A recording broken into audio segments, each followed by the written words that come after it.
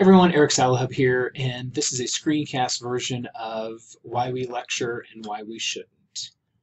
I am going to move quickly since this is a lecture about why not to lecture, um, and just encourage you to reach out to me or any of your instructional coaches if this intrigues you, if you found it provocative, if you want to talk about lecturing or why not to, or anything that comes up um, from watching this WebEx, um, just let me know.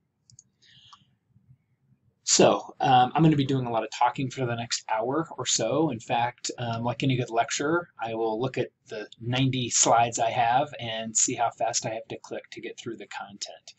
Um, I know that you will only get anything meaningful out of this if you do critical thinking and active learning in your head um, while you're watching this. Take notes, and since this is a video, uh, feel free. This is the best kind of lecture. It's one you can pause, you can rewind, you can replay it, you can watch it on your phone. Um, so be as active as possible. Uh, when I do ask you to stop and think and write, there's no chat to actually participate in, but definitely do stop and think, hit pause. Um, if you want to get the most out of this, have a pad and paper or a laptop handy and take some notes. Those are my students, by the way, from a previous semester. Um, that's them writing, thinking, and making connections. Um, that's what learning looks like. So, are you a lecturer? You're here for some reason. Um, I haven't defined lecture yet, but are you one, and to what extent? Um, rate yourself on a scale of 0 to 10. Um, and again, there's no chat, but think about it lots of different things we might call lecture. I'm just offering three as food for thought for today. Uh, I'll hit, hit, you with one more later. Um, we've got what I'm calling continuous exposition by the teacher. Um, you know what this looks like. It's what I'm doing now. I'm going to talk um, for an entire hour. I'm going to show you visuals. Um, if I were in a classroom, I might be working problems or doing other things on the board. Um, but this is when the teacher's talking all the time or almost all the time, doing all the work. We've got this lecture discussion, which I know you're familiar with. Um, certainly lecture as storytelling is something that we might be doing.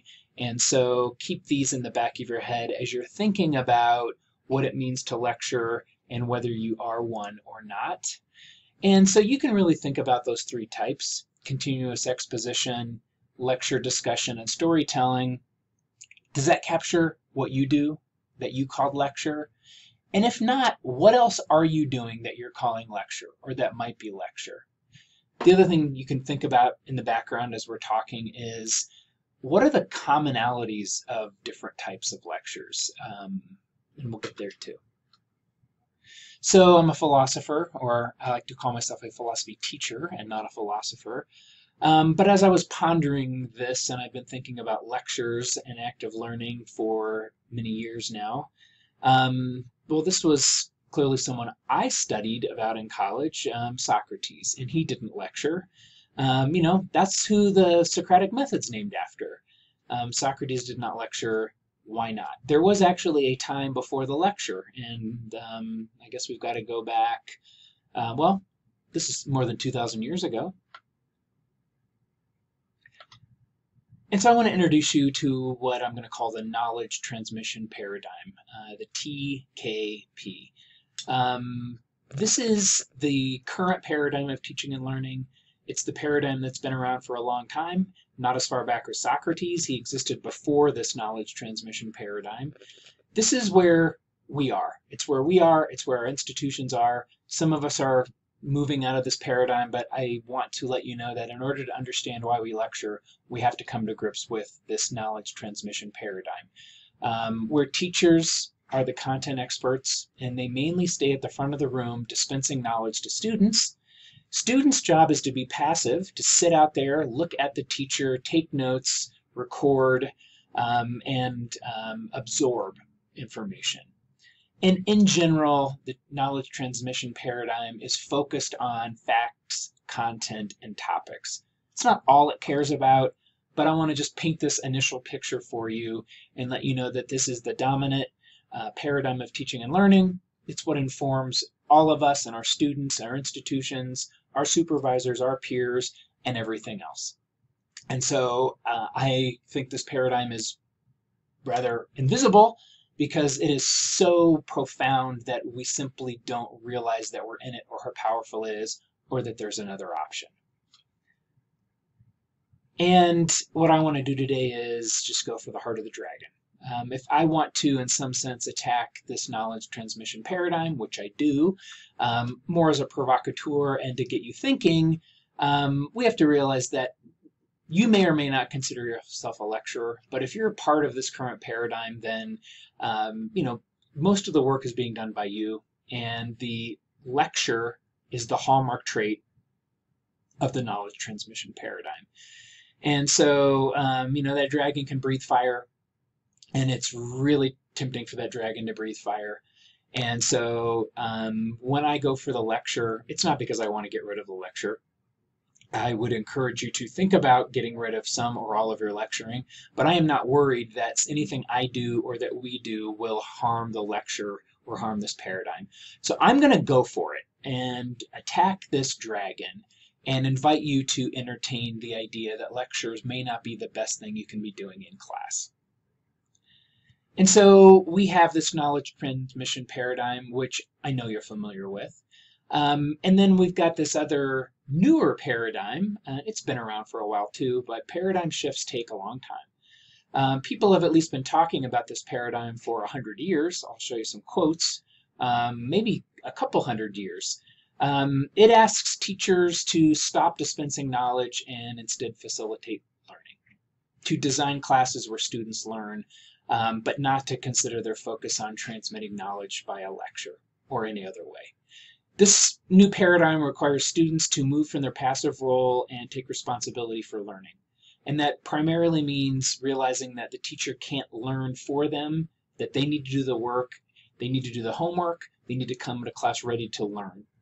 And while facts, content, and topics are clearly still really important, the active learning paradigm is going to ask us to focus more on outcomes and skills. And so this is not a WebEx about active learning per se, but I want you to understand these two paradigms because it'll frame our conversations about lectures and about moving away from lectures.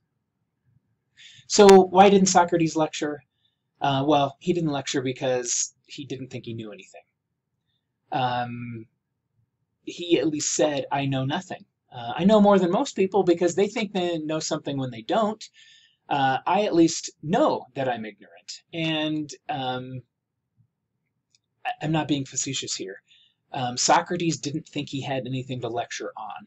He did not think philosophy was a topic of study, but instead an activity. It wasn't a set of facts, it wasn't a set of content or topics, it was literally a set of skills uh, that he encouraged people to participate in. And so Socrates engaged people in conversation, but he really wanted them to do the work, and he thought of himself as a learner facilitator, although those are my words and not his. Um, but, you know, not too long after Socrates, we get this. Um, and this looks a lot like a lecture. And so we get um, a church, uh, I think this is clearly a priest, um, an archbishop, I guess, and that looks like a lecture.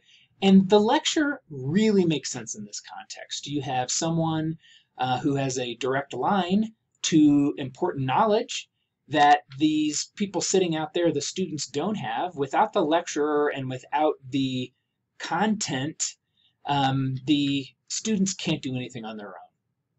And so this gives you a sense of what is going on in a lecture. This is the transmission of knowledge from expert sage on the stage to students. And so the word lecture itself, of course, comes from the Latin to read, and um, you know the we this the word lecture started getting used in the West. I don't know 1300s. Um, by the 1500s, it was used in the current sense, right? Um, a teacher standing in front, reading and presenting to students. And so lecture literally means to read, and lecturers were readers.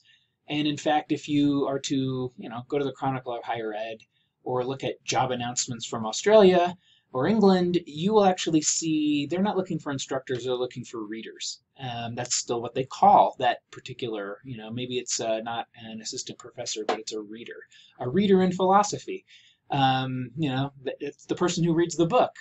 And so here we have mid 14th century um, Italian lecture, and here we have, um, well, there's one book, and the person's reading it, and there are people transcribing and copying that book.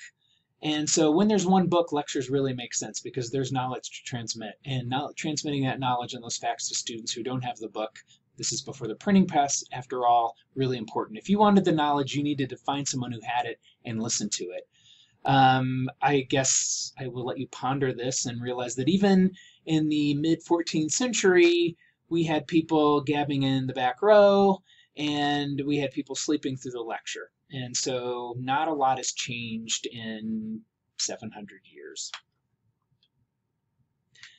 And I'm going to call this a lecture. It is an anatomy demonstration from 1609. And again, if you are interested in anatomy um, and you don't want to go grave robbing, this is probably a great way to get the basic information about anatomy. Um, I will just point out that as I was looking uh, at this picture and thinking about it, I teach at Front Range Community College, Larimer campus in Fort Collins, Colorado, and my community college students actually have a cadaver lab on campus. And so I'm sure their teacher, uh, my friend, um, does actually do a few demonstrations, but uh, the 200 level anatomy students are actually doing their own dissections of cadavers. And so um, keep that in mind as some context for thinking about the history of lecturing. Well, Socrates didn't lecture, but we've been lecturing pretty much ever since then, and we're still doing it. And I guess the question is why? Why do we still lecture? Um, I'll take a moment. You know, conjure a mental image um, right now of a classroom with students and a teacher. If you were a kid um, and you played school, um, what were the roles? And what did those people do? And I only ask you to do this to give you a little pause to recognize how entrenched the current paradigm of teaching and learning is. I'm pretty sure that your mental image had uh, a teacher at the front, students looking at the teacher, um, and if not, it was probably something close to that. And certainly, if you didn't conjure that image, maybe you conjured a lab setting or something, I think you get what I'm saying here. This image of the teacher as the purveyor of information and students out there as more passive um, is so prominent, it is really hard to think about anything else. And so again, let's keep these types of lecture in the background and let's go ahead and focus on this continuous exposition for a while. Um, even if you're not doing it for the whole 50 minutes or 75 minutes or three hours that you have, you know, when you go on that, um, you know, when you're presenting content, when you're showing PowerPoint slides, um, when you're going over material, um, that's what you're doing. And let's just keep this in mind as we think about um, some of these reasons to lecture and some of the maybe critiques of those reasons. And so we've got a whole bunch of reasons to consider. Um, I will send you some documents if you want them that'll have the citations for all of these quotes that I'm going to give you. Um, and so the one, the slides with the blue backgrounds are reasons we lecture. I'm not arguing that all of these are good reasons, but these are all reasons that I've either read or heard, um, and I think we should take a look at. Um, so, why do we lecture? Lectures are what teachers do. Um, being a great teacher simply means being a great lecturer. A content expert who presents information and demonstrates skills uh, to students. Why do I lecture? It's my job to lecture. I'm a teacher. That's what I do. And so if we had a chat, I would ask you to use the chat, but since we don't, um, just think about, does this reason resonate for you? And maybe that means it's a plus. Or it doesn't resonate with you, you don't do it, you don't think this is a good reason, you see a lot of reasons or counter arguments, maybe it's a negative, and that little squiggle in the middle, I don't know, maybe you're just kind of in the middle on it or considering it or it's got some merits, but you're not sure. And so why am I asking you to do this? I really want you to think about these reasons and be mentally engaged. And so, I don't know, give it a thumbs up, thumbs down, or a neutral. Um, that's what you do as a teacher. And so, just to paint this uh, picture a little more clearly, look at your classroom. Um, it's got a front, it's got students looking at you. It probably has a whiteboard or chalkboard, smartboard even in the front with a data projector so your PowerPoint is showing so all students can look at it. If you've got publisher resources, it is more than likely that they are content and the intent is uh, this, these are resources to help you present information to students. And if you look at your course catalog, at least if uh, you're part of the community college system in Colorado and every university I've ever worked at, um, there are lecture courses, LEC. In fact, my discipline, philosophy, is a lecture discipline. And so our courses are literally, they're called lecture courses, LEC. Um, that's pretty much telling us what we do. My course meets Monday, Wednesday, Friday, 9 to 9.50. It's an LEC course, which means that it meets for 50 minutes, three times a week. Um, and guess what? I'm supposed to lecture in there. And maybe you teach a biology course or welding or EMS, um, chemistry, uh, dental hygiene. It's probably a LEC slash LAB. Well, that's telling you what. There's a lab portion of the course where your students are doing the work, and then there's the lecture portion where you're dumping all the content into their heads. And so, um, just to give you a sense of how ingrained, again, lectures are in this concept of the role of lectures in the knowledge transmission paradigm. Um, lectures are what we do because our supervisors and our peers, um, that's what they expect. And our supervisors are evaluating me, judging me, my peers are respecting me because I'm a great content expert, right? That's what I do. And so that's why I lecture. And this is clearly a significant reason for many people. I work with many part time faculty, and if your department chair tells you to lecture and that person makes the choice of whether to hire you back or not, then um, there's this is a really good motivation, even if it's not tied to student learning. So I don't know how well this reason resonates for you. If you have tenure, um, then maybe uh, you don't care what your supervisors think, uh, or maybe you have um, a thick skin and you maybe have your reputation and it's okay uh, that your peers think what you're doing in class is crazy once you stop lecturing. Um, but you may be working with colleagues or part-time faculty, and for them, this may be a really powerful reason. We might lecture because it's our identity as teachers. Our role models were lecturers. Pretty much every teacher you ever had, from your worst teacher to your best teacher, probably was a lecturer. Um, that's how you demonstrate your content expertise. You spent four years or eight years or however many years in college or in grad school learning to be a content expert and to learn all these skills. And man, what you do in the front of the classroom, that's where you actually get to show the students what who you are. Um, I spent all this time, I'm going to show you my skills. Um, it also gives you power and control. Uh, for some of us, that is an explicit thing that we cultivate in the classroom, um, either because we like power or because we like control. And even if we say we don't like it, it comes with the job. And so that issue of power and control is very likely to be part of your identity. Um, you are the sage on the stage. And, you know, I, even though I try not to be a lecturer anymore, man, that uh, sage on the stage is something I used to put a lot of cachet to. Um, I'm going to encourage you to become a learner facilitator. And I have to say, I'm not sure that sounds like a promotion. Look, we have egos. And I've had some colleagues that have flat out told me, because we've been friends for 20 years, you know, I like lecturing because it's about me. And I don't want to be a learner facilitator because that's a demotion. They liken, and I used to as well, a learner facilitator is like a TA. No, it's worse than a TA. A TA at least is a teaching assistant.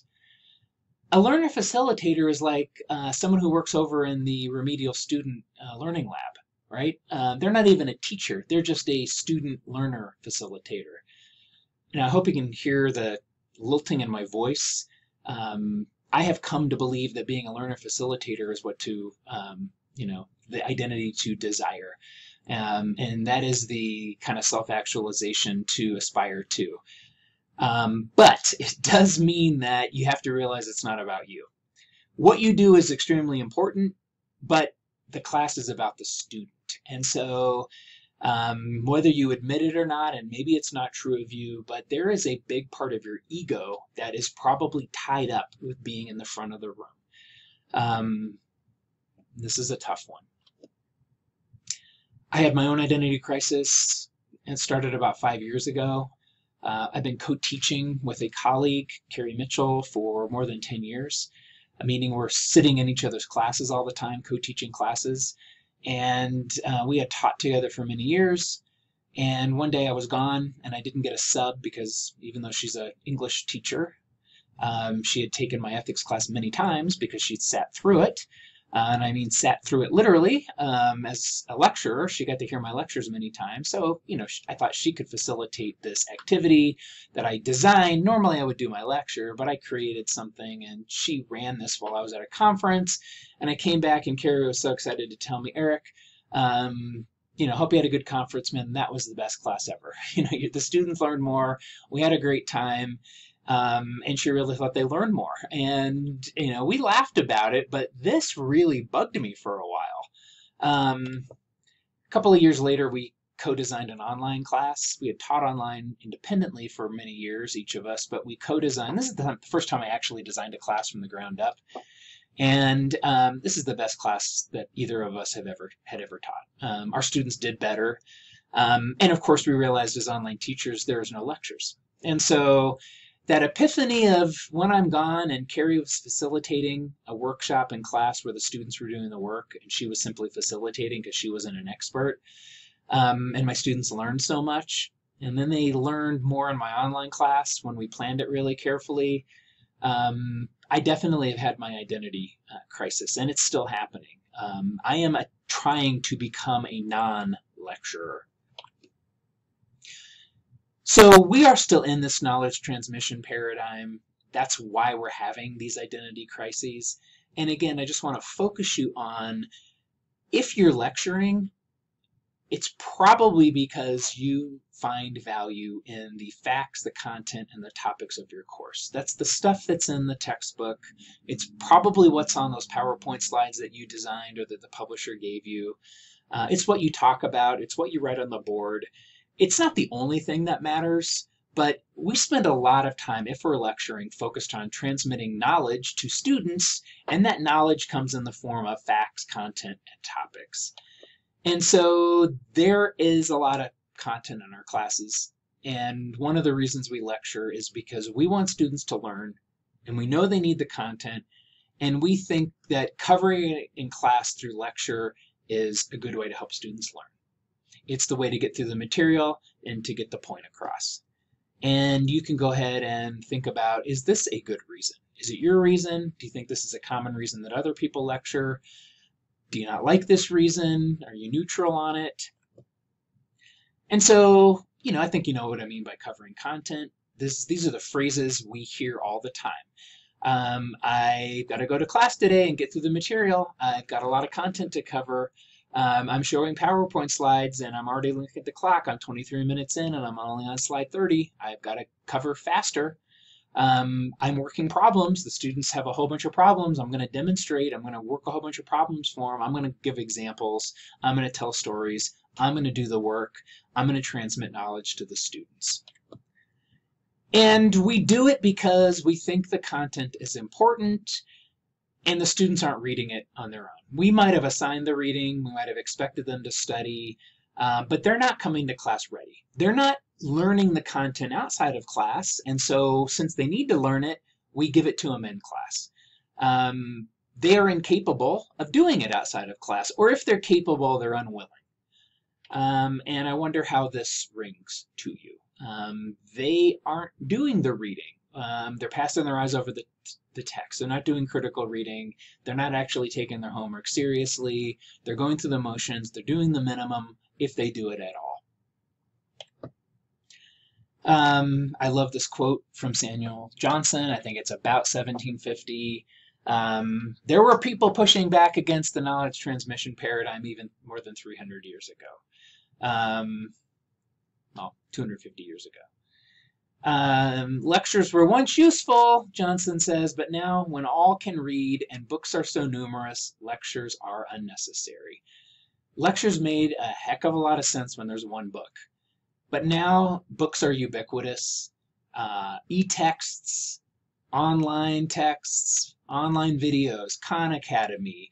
I can pretty much search for any topic on any discipline and find innumerable lectures, uh, journal articles, library databases. Um, students do definitely have access to the content in various forms outside of class. Um, so why are we still lecturing?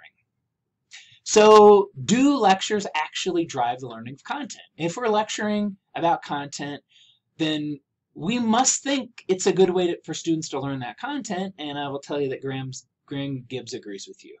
Um, in his book, uh, 20 Terrible Reasons to Lecture, which I'll talk about later, uh, he does note in his reading of the research that um, there is no significant difference between lecturing and a host of other methods in their ability to enable students to learn factual material. Um, if you want to take a note on something, this is probably the only one of the only positive things I'm going to say about lecturing from the research. It may be just as good as other methods at getting students to learn factual material. Um, it, it's as effective, but not more effective than lots of other methods. Um, but Gibbs did find one method in the research that looked better, and that's unsupervised reading. And so I'm going to go ahead and just give you a concession. Covering the material in a lecture is probably as good as if your students would have just read it at home. And so maybe we should think about getting students to do their reading. And if they're in class, they also have this problem. It's really hard to pay attention for very long. And I tried to vet this graph that I saw all over the internet, and it actually came from research from um, Benjamin Bloom, um, but I couldn't find his citation. And so I read, you know, there's some variability here. There are strategies and tactics, and some people can maybe pay attention slightly longer than 10 or 15 minutes, 20 minutes. Some people have less than this. Um, so there are variables, but I will just say attention span is limited. And if you're lecturing for 20 minutes or 30 minutes or 40 minutes, and I was just talking to colleagues um, that lecture for multiple hours, so you have a three hour class. And this is in biology, this is in uh, nursing, this is in many classes. And so um, the human brain has a capacity to pay attention and it's limited. And I'll just say keep that in the background as you're thinking about how long you're talking. Uh, I'm keeping it in mind because I've been talking now for 27 minutes, and so you're somewhere down here. Now, you're here for a reason. You, you're bringing intrinsic motivation. You're a teacher. You already have a lot of information about lectures, and so hopefully you're doing some critical thinking. I'm trying to be challenging, maybe to get your blood pressure up a little bit, um, get you to want to disagree with me and argue, um, to help you pay attention but I realize that this is a, a difficulty. Well, Dr. James Lang in his book Small Teaching says, you know, lectures, no matter how good they are, can only attend to low level outcomes. And what does he mean? I'm sure you know what he means. He's talking about Bloom's taxonomy. Um, lectures can only hope to attend very well to facts and concepts that you want students to memorize or spit back at you, or maybe they are explanations of ideas. They're, they're you know, your attempt to, to uh, describe or identify. Um, I am not arguing that people don't think or try to attend to these higher level outcomes through lectures. Um, but Lang says lectures are generally attending to the facts and the content of the discipline. And low level doesn't mean bad. Low, it's really, really important that students have the ability to recall important facts uh, and to understand uh, important facts and concepts and topics about your discipline. But they're low level in that most of us think that those are building blocks for higher level, more important skills. So um, you may have heard of Eric Mazur, Dr. Eric Mazur, uh, physics professor from Harvard, where he currently teaches. And um, this is a video that he has on YouTube called Confessions of a Converted Lecturer. In fact, I just saw an article yesterday on Sunday. I'm doing this on Monday morning. Um, where Mazur was interviewed and a journalist quotes him as saying, um, if you're still lecturing, you're unethical. So, um, you know, I think if Mazur were listening, he would be nodding right along with me. Um, Dr. Mazur um, lectures pre-med students in physics, used to, and he is now a converted lecturer. He does uh, teach in large quote-unquote lecture halls at Harvard, uh, but he does not call himself a lecturer anymore.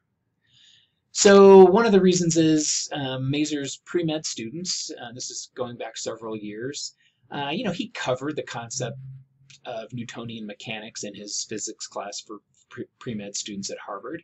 And he thoroughly covered these Newtonian mechanics concepts and assumed that his students understood them.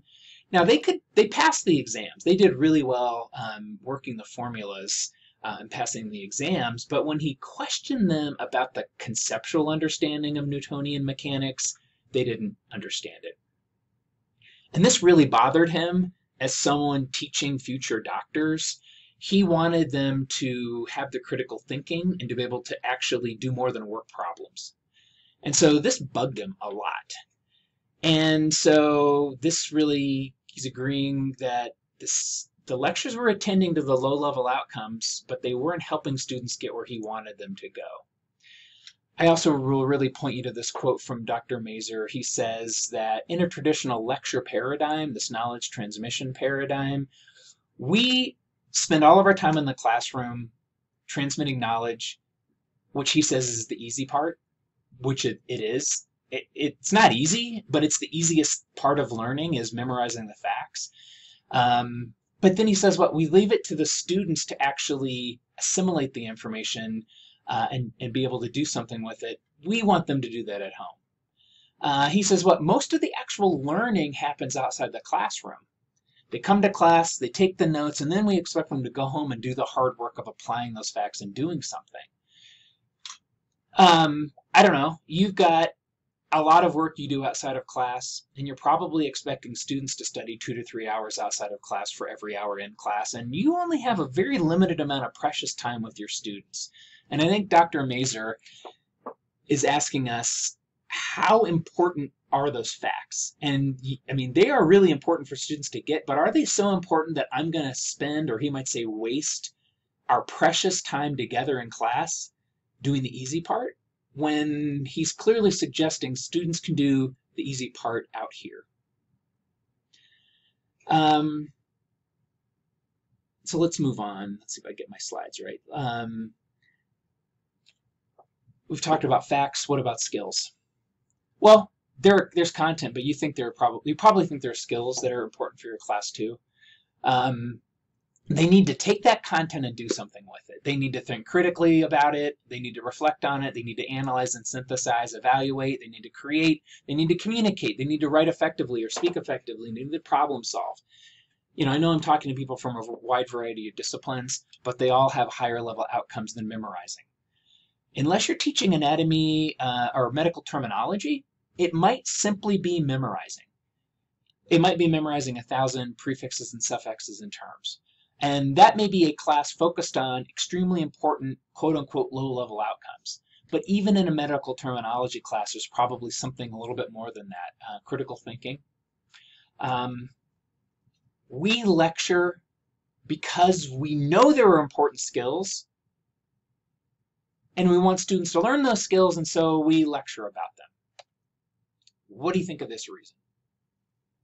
This is a good reason to lecture because we know we want students to be critical thinkers and effective communicators and problem solvers, and I'm going to help them become critical thinkers and problem solvers and communicators um, by lecturing. And I work with people in every discipline. So when I talk to my welding faculty and my auto um, faculty, I wonder do they think that lecturing about how to change a spark plug is actually going to help a student change a spark plug or something? Maybe so. Um, this is the same bloom, by the way, that did Bloom's taxonomy. He did a whole bunch of research in memory and learning beyond Bloom's taxonomy, and he said when he did research on what's actually going on in students' heads while they're in a lecture, um, well, they're not doing a lot of critical thinking. Um, what are they actually doing while you're lecturing? Um, 78% of their time they're spent on passive thoughts about the subject or irrelevant thoughts. Only 1% of the time uh, is actually spent on what we might call critical thinking. And even if he was wrong by a factor of 10, it's still not very likely that your students are doing a lot of high level thinking during your lecture. And if you think differently, um, well, let's talk about that. One of my heroes is Dr. Terry Doyle. He wrote a book in 2011 called Learner Centered Teaching. It's one of the things that sparked my interest in what I'm calling active learning. Uh, I love this quote the person who does the work does the learning. I think what Dr. Doyle would say is every time you demonstrate critical thinking and problem solving in front of the class, you're becoming a better critical thinker and problem solver because you're doing a lot of work. Um, your students are passive and so they're not doing much work and if Doyle's quote is right then you leave that lecture having learned and gotten better and your students not so much. He says if you want students to learn, they need to actually use and apply the course content by thinking creatively and critically. Um, they need to utilize the content. Um, they need to do the work. Uh, Dr. James Lang, he's the author of Small Teaching, says you can't fire the synapses in your students' brains for them. Um, as much as you want to make connections for students, you can't. Uh, making connections is great. Coming up with examples is great. Um, it helps you learn, but you can't do it for your student. Um, your students need connections, they need practice, but they need to do it. And so Lang is suggesting that your job is not to do the critical thinking, but to set up a situation where students are forced to do the critical thinking and the communicating and problem solving. Um, Bligh wrote a book um, going back, I don't know, 20, more than 20 years. What's the use of lectures? I'm going to quote from it several times. I'll talk more about it later. Um, and he says that in his entire book on um, what's the use of lectures, and guess what? Spoiler alert, Bligh doesn't think there is any use for lectures. Um, he could not track down a single study which found that lectures are more effective than another method for promoting thought.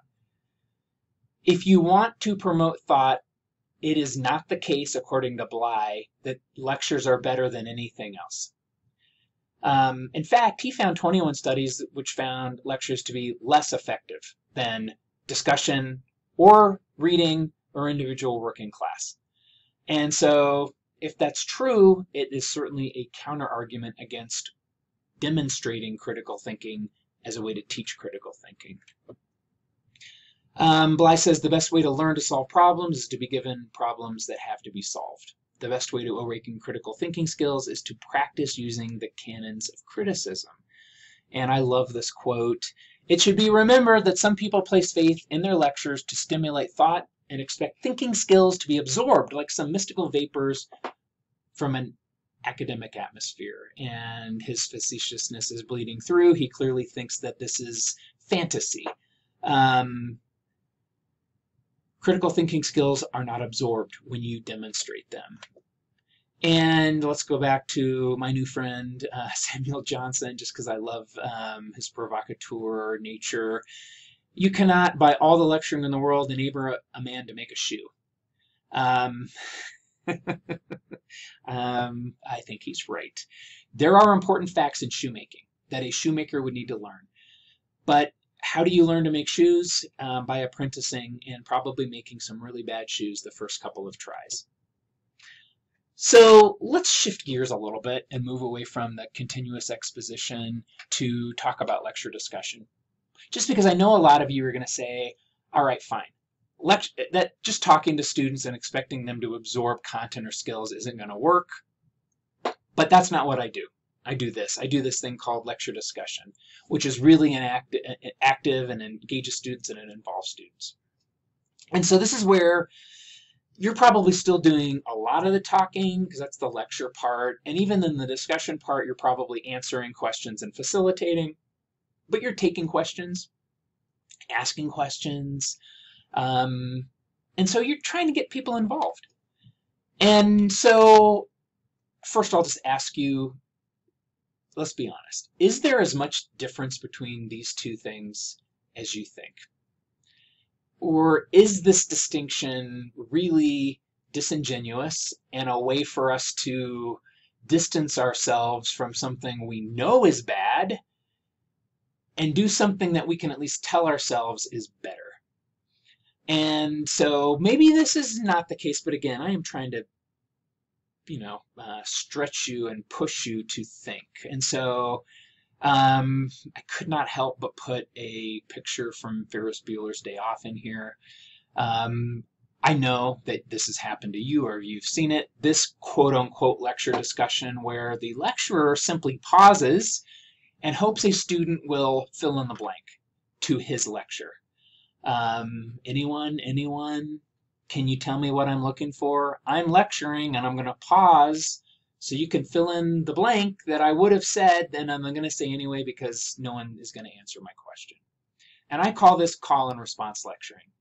It is a, fake discussion in that sense. Um, now, students are actually recalling and anticipating the word or phrase that you want, so I don't mean it's totally negative or bad but it's not really asking for a bunch of independent thinking on the students' parts if all they're doing is filling in the blanks of the lecture that you were given.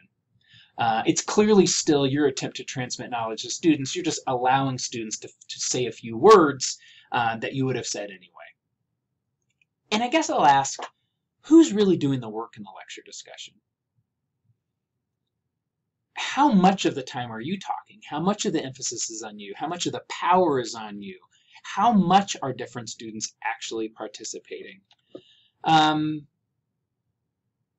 I think there's just a paradox here with the lecture discussion um, because it has two competing goals.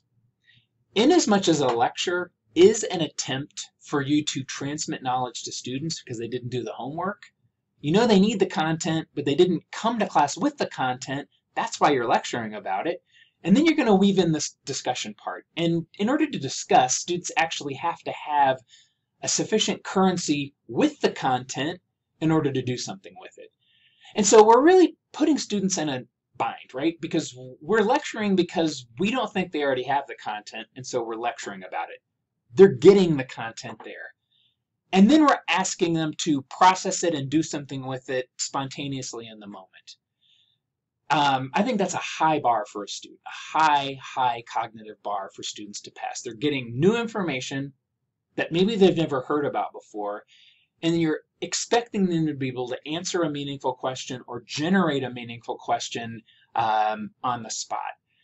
Now, some students will be able to do it, and most won't. And I guess maybe I already said this, but I mean, think about it. The maximal discussion would have no lecture. It's all about discussion. But the maximal lecture has no discussion. And so if your goal is to transmit knowledge, every time a student jumps in, it's taking away from that goal. And if your goal is to foster meaningful discussion, every time you're trying to transmit knowledge, you're taking away from that goal. And so any lecture discussion is uh, competing with itself. And so you know, if we really want the lecture to be about students gaining the content, I don't know how we can expect students to be good at the discussion part.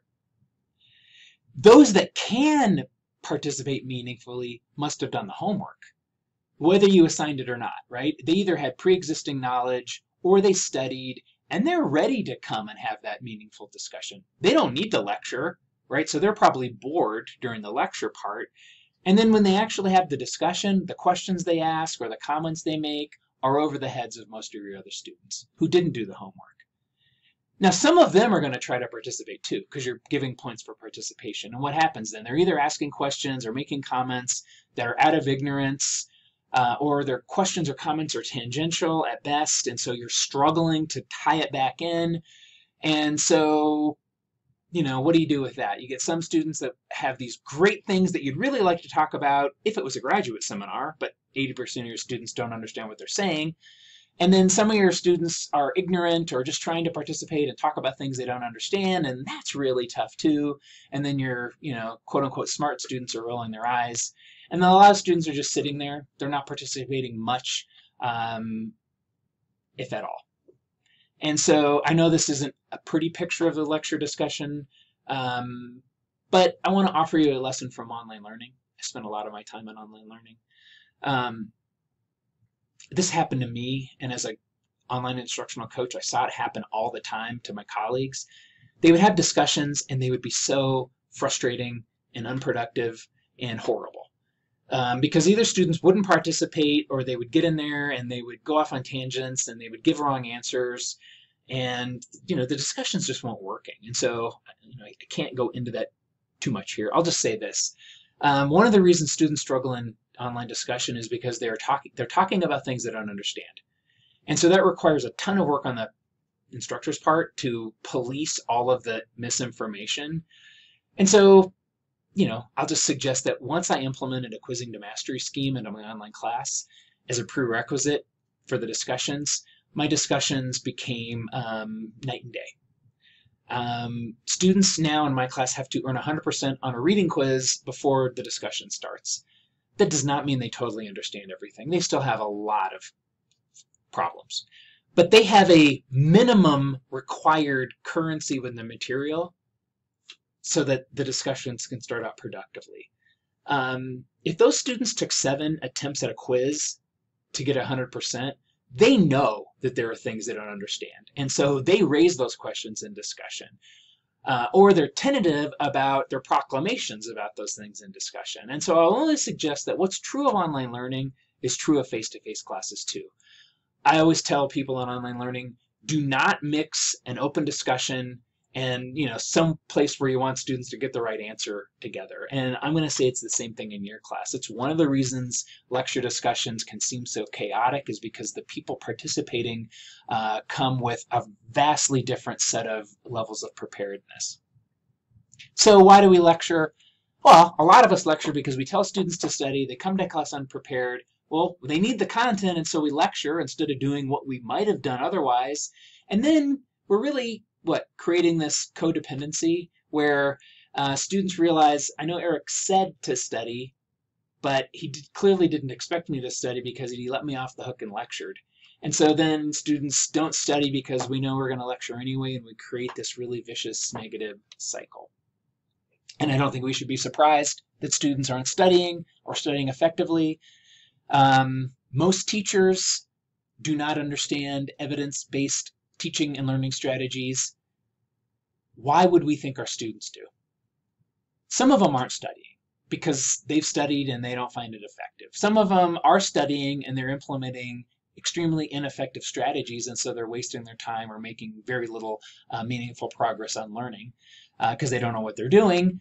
Um, and so, you know, what we need to do is we need to force students to study effectively and I'm going to tell you the way to do that is to design homework intentionally that doesn't leave it open uh, so they have to guess for themselves. Um, if we understand what they should be doing for studying, uh, we can simply be explicit about it. Uh, it's one thing we can do. Uh, I mentioned quizzes to mastery. I use them in all my classes, and I think they can be used in any class that there is content. Uh, ask your students to read the content, watch the video, whatever the content is, to participate, acquire it, expose themselves to it, and then take quizzes. And I'm talking about quizzes in a learning management system. Um, and what do they do? They take a quiz, um, they get some of them right and some of them wrong.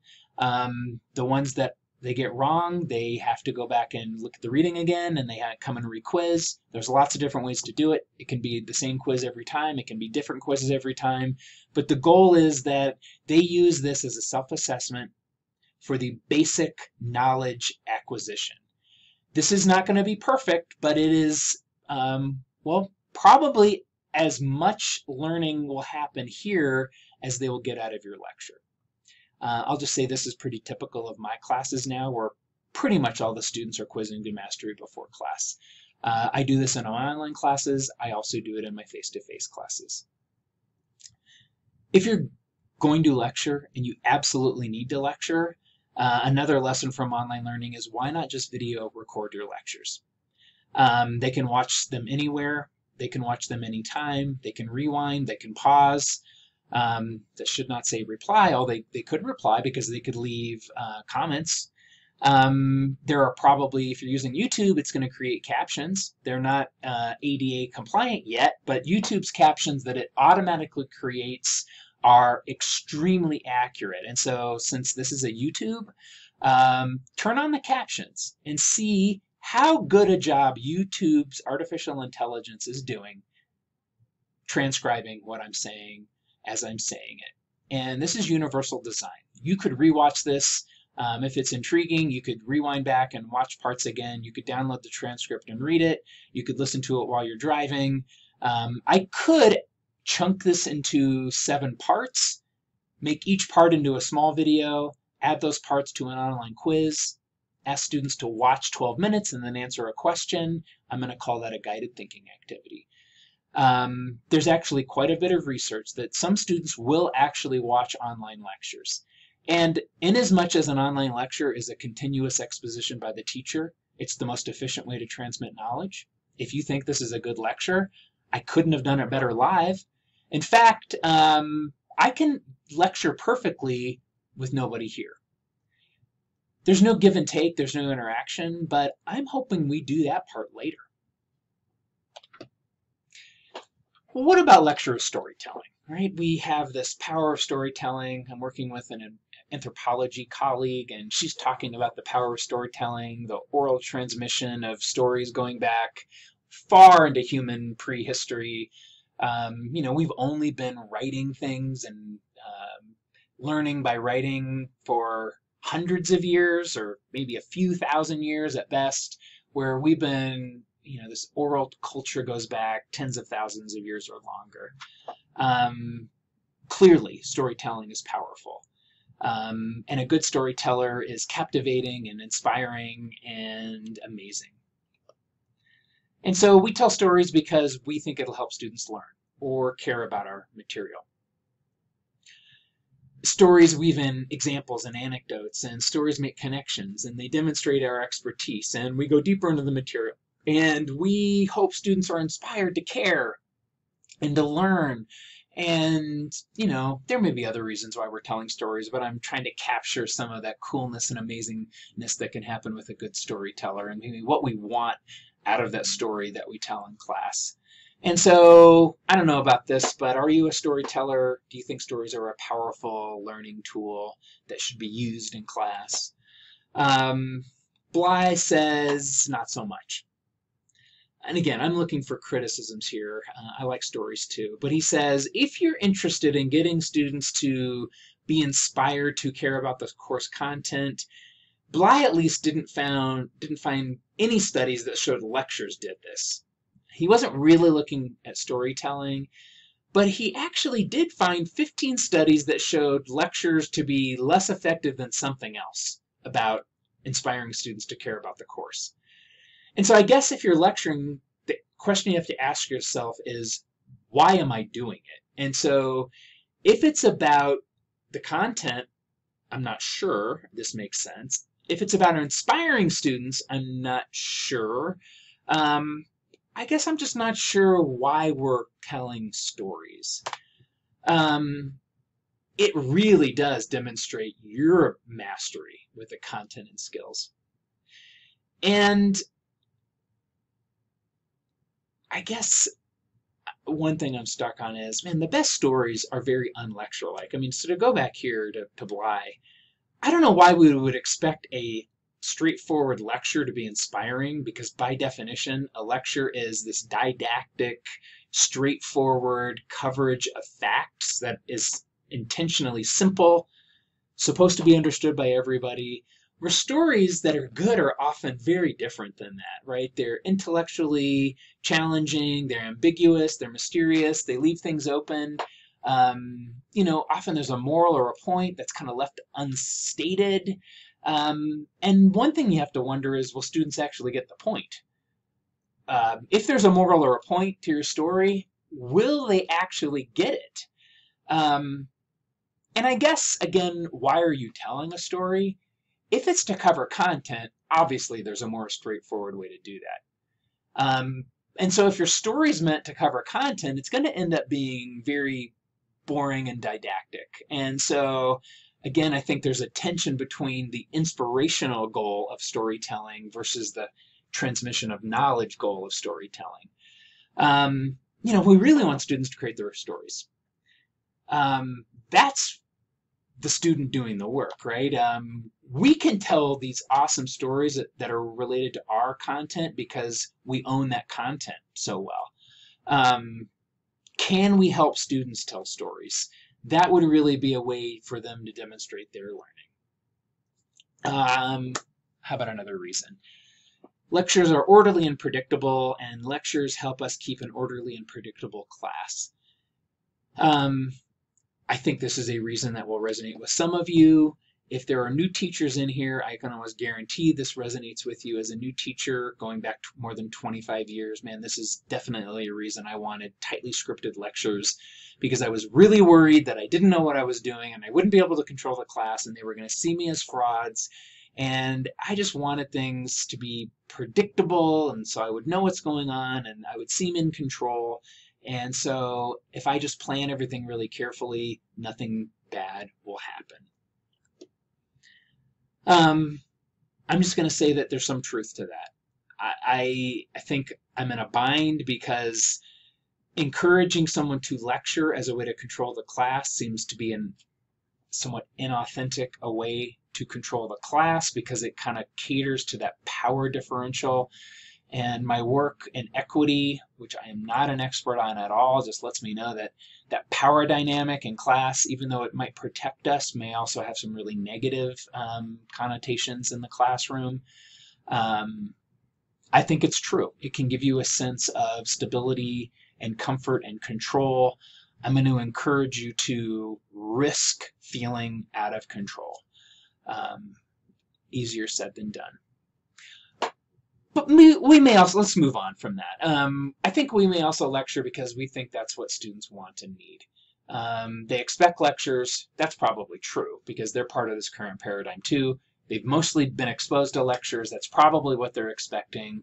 They may say they prefer lectures, and I've definitely heard my colleagues say that's a, that's what students prefer.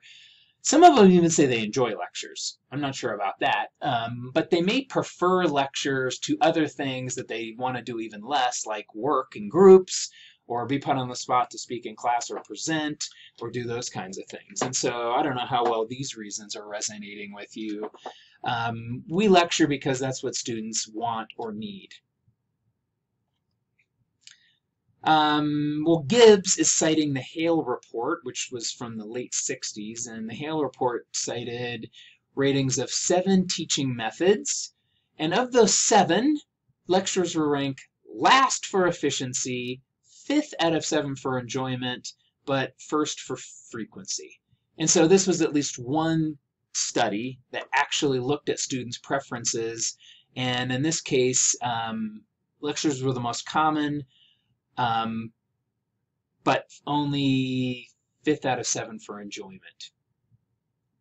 And McLeish from 1970, who was also quoted by Gibbs, reported uh, a distaste for lectures in all groups of students from 10 colleges of education. This was in the UK. Um, now, a variety of other methods were well liked. Lectures, not so much. And I guess from me to you, um, this is a quote from me. What students prefer may or may not have any correlation to what's best for them in terms of learning. Uh, I have simply learned from my own students that what they prefer may have nothing to do with what's good for them. Um, it is extremely likely that students are going to prefer what is easy. And what I know from the science of learning is learning is best when it's not easy if you're not struggling, you're not learning very much. And so um, one reason students like lectures is it doesn't ask much, if anything, of them. What they like may be antithetical to what is good for them. And so it is on us, I think, as the teachers and course designers to not cater to students' whims, but to actually design classes that help them learn. Uh, is it the case that students might push back? Possibly. Although I'll say in my experience that is not likely to happen once students realize that you're not lecturing because you know that it's not going to help them learn. Uh, maybe you want to point out to them that what's easiest may not actually help them learn. Something one of my students wrote um, last week on an assignment. Um, they were actually writing about their experiences in school, and one of my students wrote this. She says, What's the worst thing about school? Having to sit from early in the morning till late in the afternoon hearing lecture after lecture. After a while, they begin to bleed together, and you're studying harder each night just so you can doodle through a lecture. she's really getting that. Where's the hard work done, and where's the easy work done? And she's, uh, she's you know, kind of tipping her hat, even though she's not doing it explicitly, explicitly to this power dynamic. It's completely one-sided creating a great divide between students and the knowledge they're trying to absorb. The teacher has it, and I'm going to give it out to my students. So um, this was actually a very common sentiment in my class. When I actually asked students to reflect on lectures and learning, almost all of them said that lectures were not something they really enjoyed. Um, I've done a lot of studying of the science of learning over the last five years, and there's a host of other reasons not to lecture and mainly because lectures simply don't attend to the way our brains actually learn. Um, learning is actually happening in your brain. It's a physical process of neurons forming and growing and connecting. And um, that requires recall practice and making connections. And again, I could put that Terry Doyle quote up. Um, well, what drives learning is hard work. And lectures require hard work on your part, but not so much on the students' parts. And so if you want some evidence that active learning, right, getting students to do the work will help them learn, there's a whole bunch out there. And I am happy to talk to you outside of this um, you know, presentation if you want access to some of these meta-analyses. These are two done in the early 2000s, one in 2004 and one in 2006.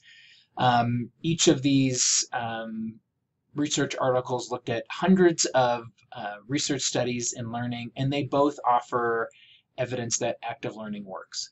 And here I'm just counterposing active learning from lecturing. It's not quite that simple, but active learning works. If you want your students to learn, moving away from lectures is a good idea.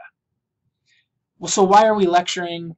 Well, because that's all we know uh, designing and developing uh, learning activities that are not based on lectures, it requires knowledge and skills that you don't have. Maybe that's one of the reasons you're here, to get some of those that knowledge so then you can start developing some new skills. I hope you are here for that reason. Um, is this you? Is this, you know, are you a, a novice or somewhat ignorant about alternatives?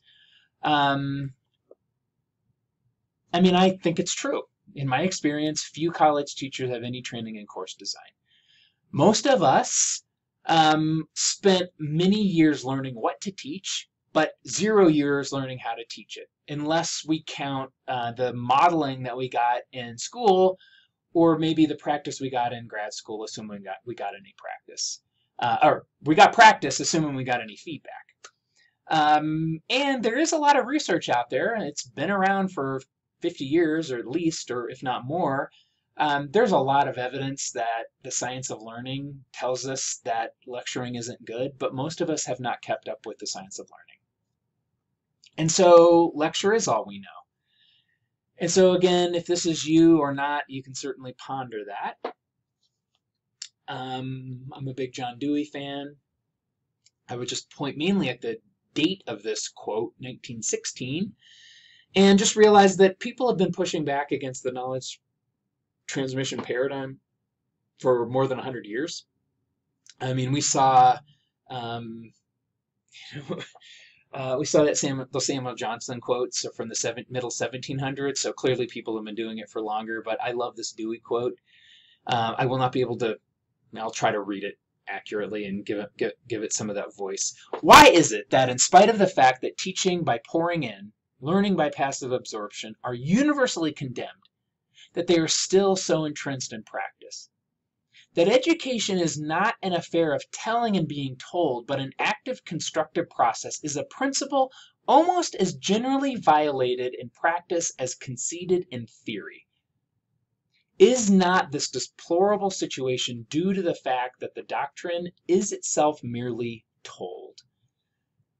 Well, in that first part, um, he thinks it's common sense that lecturing is not a good way for students to learn. And he thinks that was common sense more than 100 years ago. So why the heck are we sitting here now taught, having this conversation? But I think he's right, clearly here. We may have been talking about it and hearing it but we haven't actually learned the skills to implement anything different. Um, here's my challenge. I want you to do something with what you've just heard in the last hour and five minutes. I can almost guarantee that if you leave after finishing, you know, I've got a couple more slides to cover, a, couple, a little bit more content to get through. If you leave and don't do anything with this, you're going to forget 95 to 90% of everything. Maybe you'll remember that Terry Doyle quote, the person who does the work does the learning, and that's great. Um, but if you actually want to make the most out of the time you just spent this last more than an hour, you're going to need to actually do something. And so I am really encouraging you right now to follow up with me with an email, to make a promise to yourself to move away from lectures, to try something different in your class, uh, to let me know how hard it is, to reach out to me by email, um, you know, something. Complain to me, uh, engage with me. I'll push you, set a goal, and try to get there. Um, if you just leave and don't do something with this, then I won't say it'll be completely a waste, but um, you know, I enjoyed myself if nothing else. So how do you move away from lecturing? Uh, it's not easy. I want you to move from this knowledge transmission paradigm over to the active learning paradigm. Uh, and I guess I'm here to tell you that uh, I don't think you can change part of the paradigm.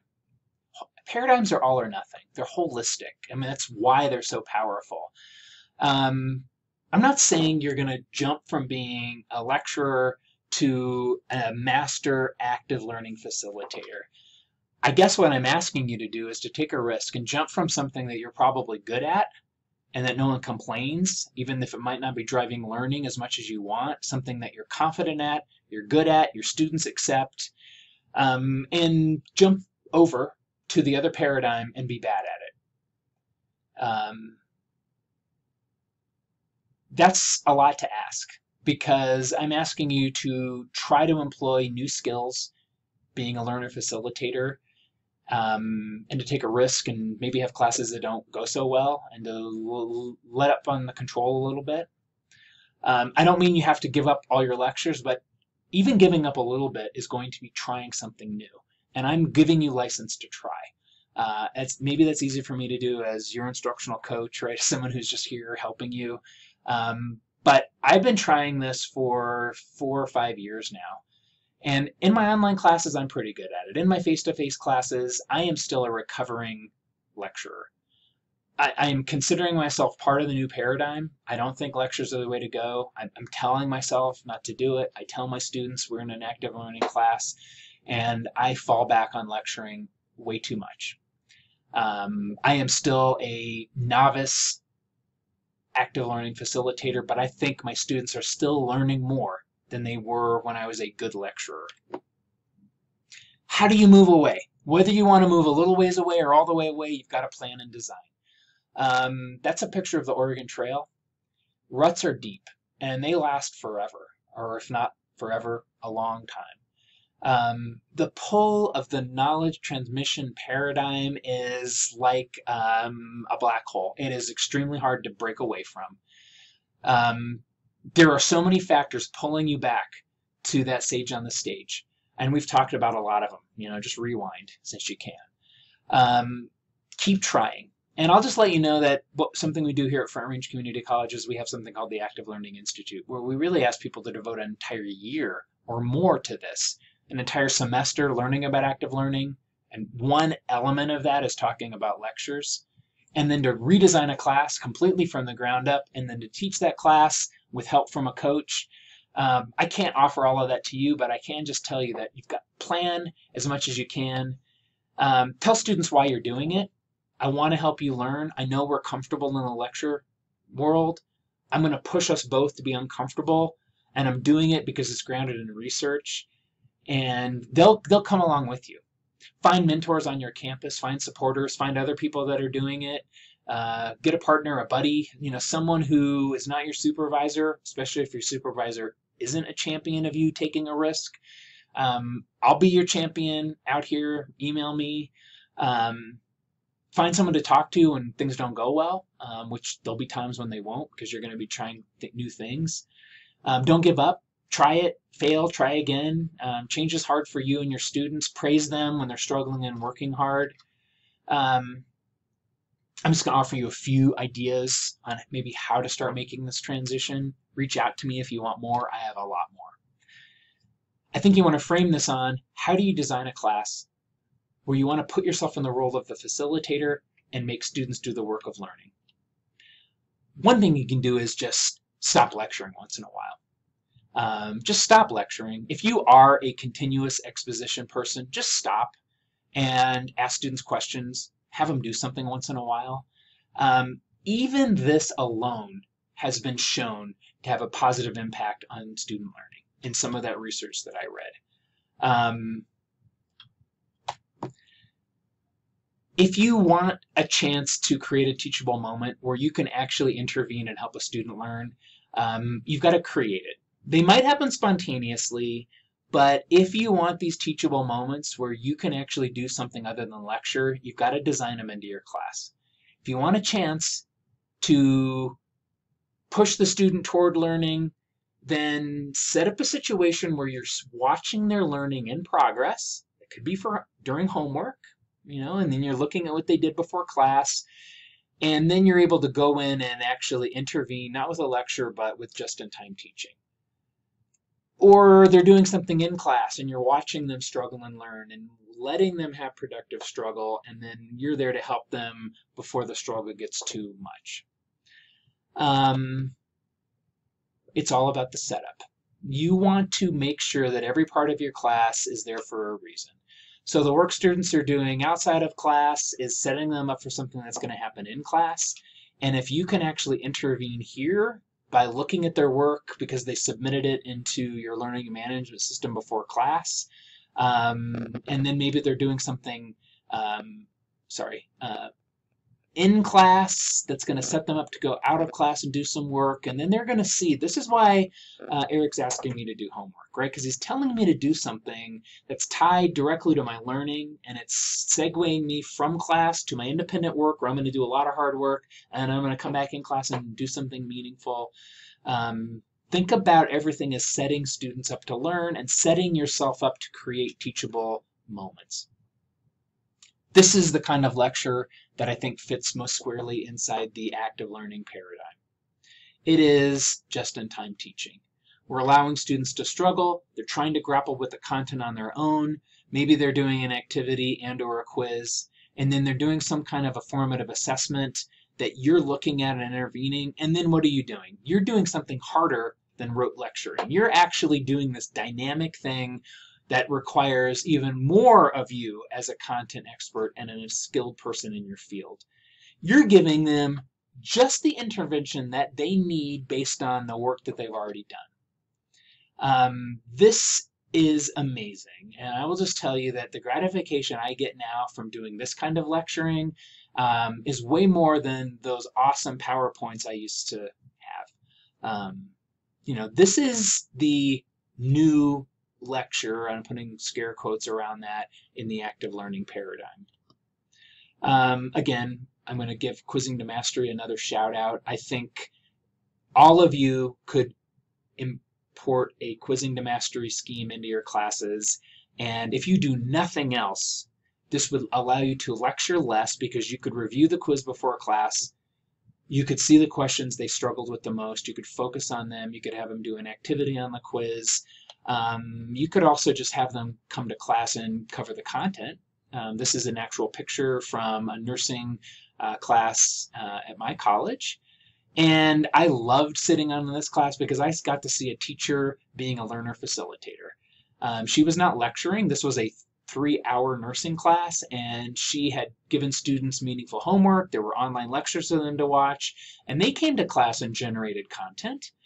And other students then were vetting the things they were writing, adding on to it. Uh, this was an amazing class where the teacher was facilitating learning. She was doing just in time teaching both at the board, she was walking around in the audience. After the board was full of stuff, they did a separate activity. Um, it was really cool.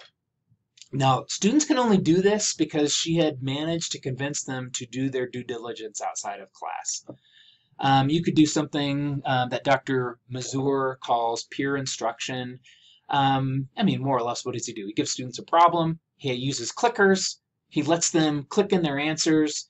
Um, if, if students' answers are very dichotomous, if they're torn between two or three answers, he puts them in groups in a big lecture hall, makes them talk about it, brainstorm, talk about their answers, lets them answer again, Maybe they get closer to the truth. He puts them back in groups, lets them struggle. He does some just in time lecturing. I mean, you can go on YouTube and watch him in action. He calls it peer instruction. He is still driving the class. He designed the class. He came up with the problems. He lets them struggle for a while, not too long. Follows up with some just in time teaching. He's still really not lecturing. He's pushing them to think further. I mean, after all, these are pre med students at Harvard. He's expecting a lot of them. Um, watch um, some Dr. Mazur videos if you want to. Um, I love the Frayer model. There are a host of in-class activities that you could use to either replace a lecture, to give you information that will let you, let you follow up with a just-in-time lecture. Um, this is really an activity that students are probably working outside of class on the content. They're going to come into class, work individually on something like this. So maybe I ask students to read and study active learning, then they're going to come into class, generate this alone. Then maybe they're going to go in small groups and talk about it. Maybe they're going to present out. And then if I were the teacher, I would be facilitating these small groups, letting students struggle, picking out mistakes they're making, and I might follow up with a 10 minute lecture talking about things that I liked, I didn't like, what worked, what didn't work, all kinds of things that you can build off of a Frayer model. Um, you know, um, and there are so many other ideas out there. Um, one place you might want to look, uh, I quoted from both of these books, um, and certainly I, you know, can talk about lots more resources for you if you want them. Uh, if you want more ideas to just what could you do in class other than lecture, um, this is a great book. But there are a ton of books about class activities. Uh, I've also done other presentations on active learning and all kinds of other things if you want to talk to me more about this. Um, thank you very much. This was almost an hour and 20 minutes, so I hopefully transmitted a ton of content to you. Um, I hope you take me up on my challenge and think about it, reach out to me, set a goal for yourself, and then let me know how far you go in achieving that goal. Um, again, let's see if I can actually come back live. If you're still watching me, maybe I can. Uh, well, maybe not. Um, thanks, everybody.